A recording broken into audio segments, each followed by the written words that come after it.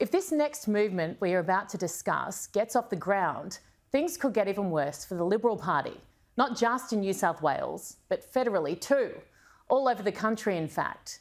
We know there's an identity crisis. We know the base is disenchanted. We know there's generational change. And yes, we know there's an issue with women. There's a real opportunity here for someone to swoop in, isn't there?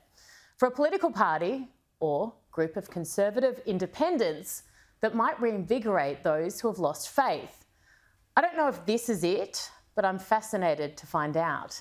Matthew Camenzuli is the man behind Choice 200, a play, of course, on Climate 200, which produced The Teals. He says this will be a collective of frustrated true Liberals who believe their former party of choice has lost its way. They are planning on contesting a number of seats in next year's New South Wales state election, including that of leader Dom Perrottet. Matthew joins me now. Matthew, thank you so much for your time. No, thank you.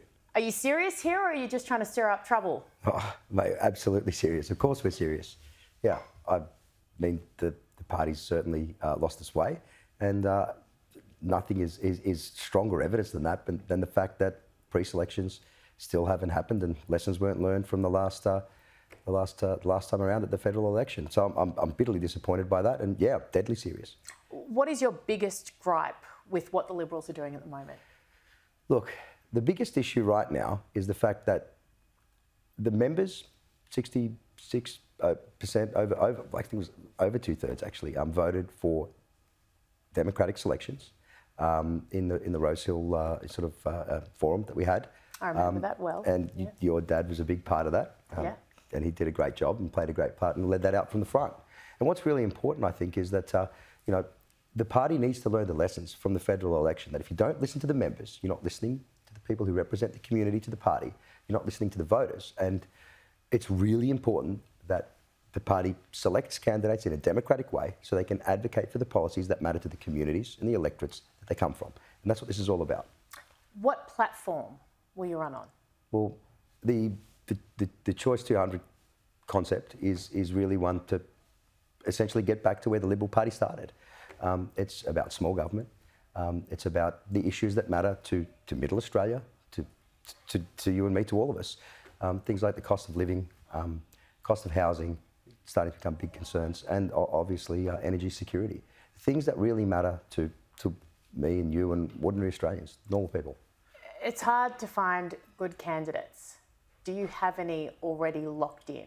We're talking to a lot of people at the moment. Um, uh-huh. Um, we're also wanting to see how this selection process goes uh, with, with, with the party. I mean, I don't really uh, uh, feel like I really want to be doing this. I mean, I love the Liberal Party, but if, it, if it's going to lose its way and it's going to continue down the path that it's on, there are a lot of frustrated Liberals, as I said, uh, and as you said, and there are a lot of uh, people that, that I think might want to have a go this way as well. So I want to keep some options open there, but certainly talking to a lot of people and some pretty prominent people as well. When you say prominent people, are we talking athletes, celebrities, former journalists? Like, give us some indication. A, a broad variety, um, and, and also just great everyday Australians that do really important work.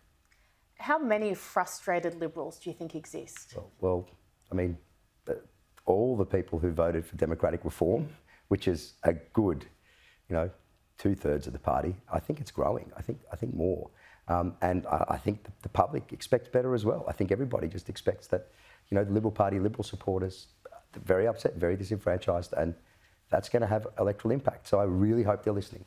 Why now?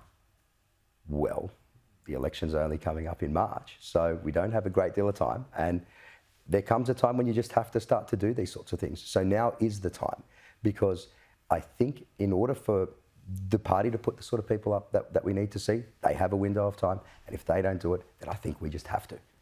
Are you hoping in some way, because you've been very successful in business, you're a wealthy man, you don't need to do this. This is a lot of work. This will be exhausting. You clearly care. Are you hoping in some way that this might push the Liberals into some kind of action? Is there a small part of you that hopes that they might so that you don't have to do this? I've, I mean, I've formerly on state executive. I know there are some really good people on that executive. There really are. And they're, they're pushing for that. Um, I, I, I, hope. I hope so. I mean, I, I love the country. That's why I'm here.